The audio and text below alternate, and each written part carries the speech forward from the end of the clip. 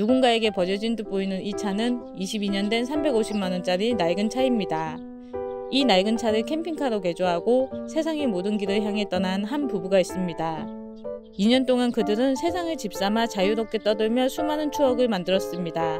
이 부부의 이야기 지금 만나러 갑니다. 안녕하세요. 안녕하세요.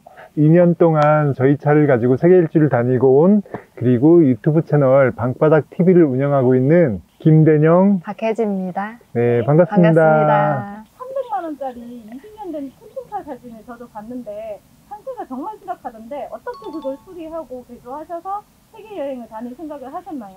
애초에 세계 여행을 계획할 때요 오토바이로 갈 생각이었어요. 음. 근데 앞만 봐도 오토바이로 여행하는 게 너무 불편할 것 같아서 음. 차로 가야겠다. 그때 마침 이 차박이란 거를 하시는 분들이 생기던 그런 때였습니다. 그래서 이제 차로 가지고 여행을 하면 좋겠다. 그런 생각을 하게 됐고, 어, 여차저차 하다 보니까 저희가 이제 캠핑카까지 직접 만들게 되고, 그렇게 해서 차를 가지고 나간 거죠. 근데 이제 그 이스타나라는 차가 말씀하신 것처럼 300만 원짜리 굉장히 고물차인데, 그 차가 굉장히 이 공간이 잘 나와요. 실내 공간이. 같은 봉고 차량이긴 해도 스타렉스보다 훨씬 공간이 잘 나오는 전륜구동이고 높이가 잘 나오고 또벤 차량이기 때문에 실내 공간이 되게 잘 나옵니다. 그래서 여러모로 이점이 있는 차량이어서 그래서 이제 그 차를 가지고 여행하게 됐습니다. 비싼 차량도 있는데 네. 300만 원짜리 부식도 막 이랬잖아요. 네. 겁나진 않으셨어요? 겁났어? 조금 걱정은 됐지. 음. 근데 이제 싹 고치고 나서는 음. 고치고 나서도 걱정은 됐지.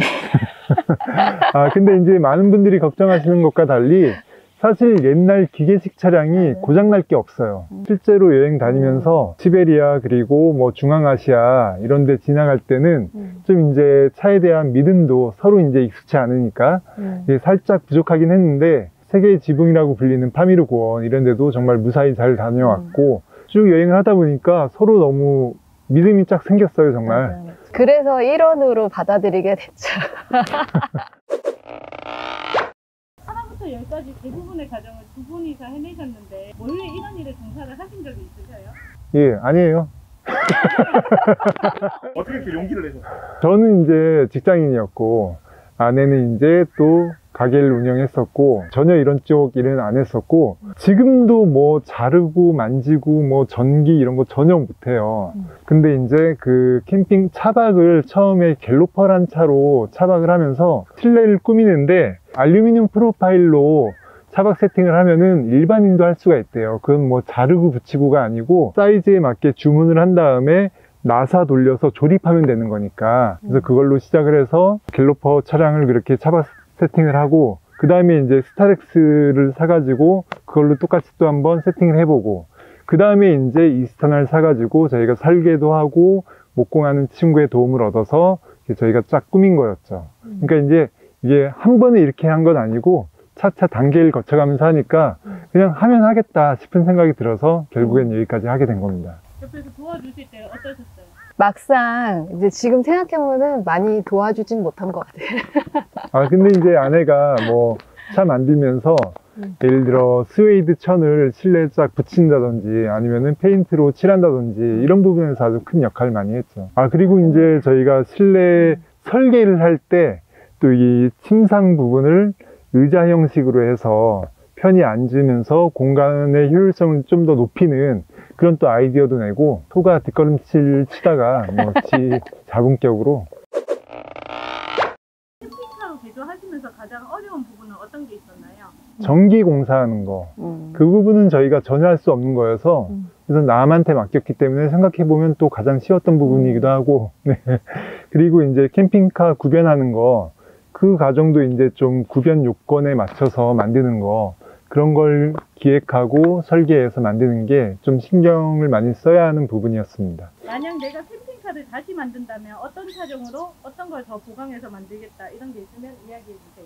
또 2차로 할 겁니다. 음. 실내 세팅도 똑같아요. 음. 저희는 정말 지금 저희 이스타나에 저희는 이제 방스타라고 부르는데 저희 방스타의 음. 그 실내 세팅은 정말 세계 일주 하는데 가장 완벽한 세팅이라고 봐요.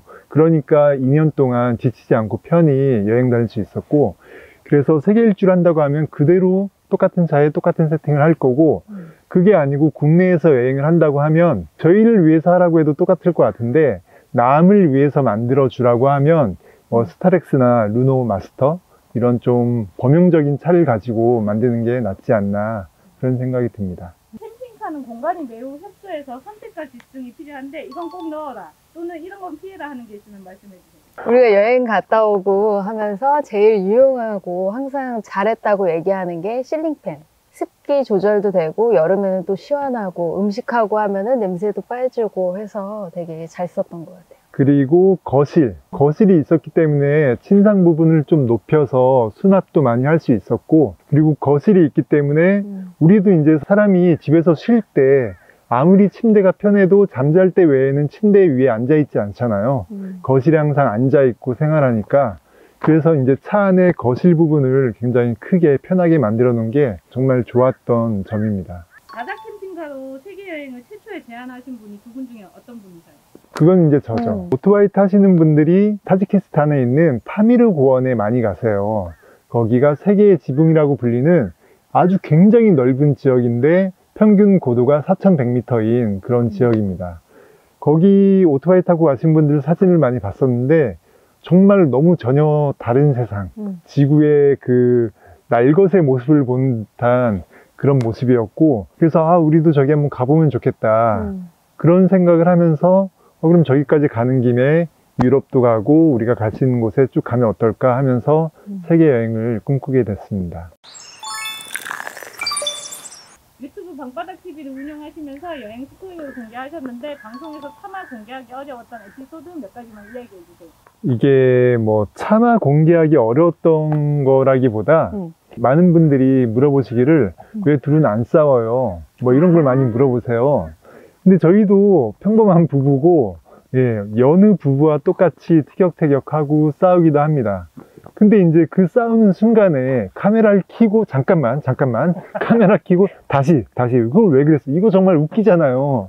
예, 그래서 이제 안 싸울 때 촬영을 하는 거고 예, 보통의 그냥 여행을 다니면서 촬영을 하고 그걸 편집해서 올리는 건데 왜 정말 2년을 다니면서 싸우질 않냐 음. 그런 질문을 많이 하시더라고요.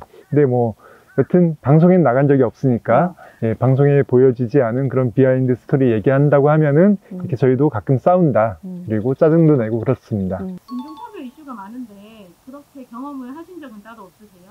크게 느낀 거 없었습니다. 물론 이제 모로코에서 한번 돈을 뜯으려고 하는 경찰을 만난 적은 있긴 한데 음. 그것도 이제 저희가 당하진 않았고요. 저는 그렇게 생각해요. 문화의 차이고 서로 이해의 부족인데 그걸 굳이 인종차별이라고 낙인을 찍어서 음. 올리는 그런 유튜버나 매스미디어의 문제인 거지. 우리가 옛날에 백인들 보면 다 양키 양키 그랬잖아요. 그거 우리 모르고 그냥 백인이면 다 미국인인 줄 알고 양키 양키 했던 건데 그 소리를 들은 프랑스인은 얼마나 기분이 나빴을 거며. 그렇듯이 이제 아직도 뭐 중앙아시아나 이런 데 가면은 동양인이라고는 중국인밖에 못 보신 분들이 우리를 보고 니아오 니아오 이러는 거 음. 칭칭총 뭐 그러는 게 그냥 그게 뭐 인종차별이라기보다는 이해의 부족이고 서로 모르는 거지 관광객이 거의 오지 않는 곳 그리고 그 중에서도 작은 마을에 우리가 배고파서 들어간 적이 있는데 그 정말 사람이 몇 명 되지 않는 마을에서 젊은 친구들이 우리를 보고 지나가면서 안녕하세요 하는 거예요. 음. 그러니까 이게 정말 한국 사람들이 그만큼 많이 이제 알려진 거고 음. 어쩌면 아시아를 대표하는 나라가 이제는 중국에서 한국도 위상이 높아진 그런 게 아닌가 싶습니다. 그래서 뭐 그렇게 다니면서 인종차별 뭐 그런 거 잘 못 느꼈던 것 같아요. 근데 이제 굳이 관광객이 가지 않아도 되는 곳을 찾아가는 유튜버들이 있잖아요. 예?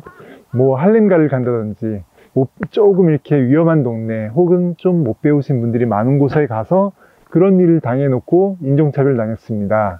이러, 이런 걸 막 일반화시키는 거 이런 게 문제인 것 같습니다. 그러면 케이팝 문화의 위상을 느꼈던 적은 있으세요? 츄리케에서 만났던 그 루마니아 친구들 집에 갈 때 이제 딸 선물을 뭐로 사갈까 했는데 BTS를 좋아한다고 해서 BTS 그 피규어를 사간 적이 있었고 그리고 또 어딜 가나 이제 뭐 젊은 사람들이 같이 얘기할 때는 그 Squid Game 있잖아요. 그 오징어 게임 봤냐고 막 그러면서 음, 그런. 게 좀 많아요. 예. 그리고 이 세계 어디 가나 주말이 되면 광장에서 젊은 친구들이 모여서 춤을 추고 그런 음. 모습들을 많이 볼 수 있는데 정말 대부분은 그 케이팝이 흘러나옵니다. 맞아. 또 근데 케이팝을 좋아하는 친구들이 그렇게 모여서 음. 나와서 춤을 추는 것 같긴 해요. 음. 그래서 그런 모습도 되게 자주 볼 수 있고 요새 그 유럽에 한다는 아. 레스토랑의 조건이 김치 소스를 가지고 요리를 만드는 거예요. 맞아, 맞아. 그래서 뭐 보면은 요리판에 항상 뭐 김치 소스를 얹은 리조트 그런 메뉴에, 음. 것도 많이 팔고 그래서 어, 정말 위상이 많이 높아졌다 그런 걸 음. 느낄 수 있었습니다. 여러 국가를 여행하셨는데 가장 좋았던 국가는 어디고 그 이유가 뭘까요? 정말 어느 한 나라를 꼽기 힘든 게 음. 각각에 다 특색이 있고 음. 이런 점이 좋고 저런 점이 좋고 뭐 다 다르기 때문에 맞아. 한 나라를 꼽는 건 정말 힘든 것 같아요. 반대로 가장 좋지 않은 경험을 한 국가와 그 이유도 말씀해 주세요. 좋지 않았다기보다 음. 조금 이제 기대치보다 실망이었던 데가 페루였어요. 맞아, 맞아. 특히 우리 한국 사람들에게는 남미 여행이라고 하면 음. 페루를 꼽잖아요. 나스카 문명이라든지 마추픽추 음, 음. 뭐 그런 건데 사실은 그 마추픽추도 좀 이렇게 과장된 면이 있는 곳이고 마야 문명을 대표하지도 않고 정말 작은 마을일 뿐이에요. 정말 그렇게 막 큰 시간과 돈을 들여서 갈 필요가 있는 곳인가 그런 생각이 들기도 했고 그리고 이제 이 페루 사람들이 조금 굉장히 다혈질이었습니다. 음. 앞에 택시에서 장애인분이 내리고 있어도 뒤에서 빵빵거리는, 네.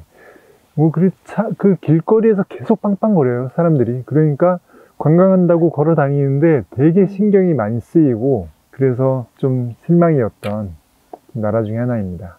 2년 동안 여행 경비가 꽤 나왔을 것 같은데 2년간의 경비는 얼마나 드셨어요? 이거 저희가 아직 음. 그 정리를 안 했어요. 유럽까지만 그냥 러프하게 한 음. 달에 한 350에서 300, 뭐, 2, 30 그 사이? 다시 세계 여행을 가실 계획은 있으신가요? 세계여행이라고 이렇게 그런 것보다는 이제 여행하면서 이제 대도시는 차를 가져가지 않은 곳들이 있었고 그런데 이제 그런 곳은 이제 비행기 타고 갈 계획으로 이제 몇 군데 남겨놓은 곳이 있었고 그 다음에 뭐 미국이나 캐나다는 다시 한번 이제 차로 좀 오래 다녀오고 싶은 계획이 좀 있죠. 네. 그러면 아까는 다 좋았다 하셨는데 음. 가장 좋았던 도시가 미국이랑 캐나다란 말씀이세요? 여행을 하기에 여러 가지 여건들이 미국이 여- 정말 그 도로 여건도 너무 좋고 그 미국이란 땅 자체가 워낙 크고 볼 것이 많고 하니까 캠핑카를 가지고 여행 다니시는 분들이 굉장히 많아요. 음. 그래서 그분들을 위한 그 시설이나 인프라 이런 것도 굉장히 잘 돼 있습니다. 음. 그래서 뭐 여행 다니기 너무 좋았습니다. 2년간 해외에 계시는 동안 한국은 차박 금지법이 생겼는데 네. 한국에서 차박을 하실 계획이 있으셨어요? 어, 돌아와서는 음. 이제 할 계획은 없습니다. 음. 네. 차박 금지법에 대해서 어떻게 생각하세요? 찬성. 단호하게 찬성. 아, 그 막 주차장에서 그 막 알박기 하고 막 너무 좀 안 좋은 문화인 음. 것 같고, 무질서하게 네. 그렇게 됐기 때문에 그런 법까지 생겨났으니까. 네. 국민들이 여가를 잘 누릴 수 있게, 숨통을 틀 수 있게 그런 걸 법적으로 좀 제도화해서 그런 공간이라든지 차라리 돈을 조금 받고라도 잘 관리하면서 유지 보수하고 제공하는 그런 게 낫다고 봅니다. 저희도 앞으로 캠핑카를 다닐 계획이 있거든요. 네. 근데 개조하는 거 도와주실 거죠? 당연하죠. 그래요? 도와드리겠습니다. 아, 네. 약속했습니다. 네, 예, 다들 예. 앞으로의 두 분 계획은 어떻게 되세요? 예, 저희는 음. 일단 집을 지어야 합니다. 저희가 살 음. 집을 짓고 좀 멋을 부려서 얘기하자면 음. 세계 여행을 쭉 이제 우리가 살고 있는 세계 여행을 다녔잖아요. 이제 내 안의 세상으로 여행을 떠나는 그런 시간을 가질 생각입니다. 뭐 그동안 이제 못 읽었던 책도 많이 읽고 영화도 좀 많이 보고 음. 뭐 그러려고 합니다. 예. 어, 그리고 다녔던 곳들에 대한 좀 정리도 좀 음, 해봐야지. 기록도 좀 다시 해보고 음. 네 그러려고 합니다. 두 분 영상 댓글에 보면 세계 여행을 관심 있는데 못 하고 있는 분들 위해서 그런 모임도 해갖고 좀 알려주실 생각 없냐고 많이 달리던데 그럴 계획도 있으세요? 언제 뭐 좋은 시간이 되면 뭐 그런 자리도 한번 마련해 볼 생각이긴 합니다. 예. 그렇게 해외에서 두 분 다녀오신 거 너무 멋지십니다. 앞으로도 네. 멋진 모습 정마들 TV에서 보여주세요. 네, 네. 감사합니다. 이런 자리 마련해 주셔서 정말 감사하고 네. 달그닥 TV도 많이 응원 부탁드립니다. 감사합니다. 감사합니다. 2년간의 긴 여정을 마치고 다시 일상으로 돌아왔지만 마음속에는 여전히 여행의 설렘이 남아 있습니다. 지구 한 바퀴를 돌며 여행한 이야기를 들려준 그들의 새로운 시작을 응원합니다. 앞으로도 세상 살아가는 사람들의 수많은 이야기를 들려드리겠습니다. 오늘도 영상 시청해주셔서 감사합니다.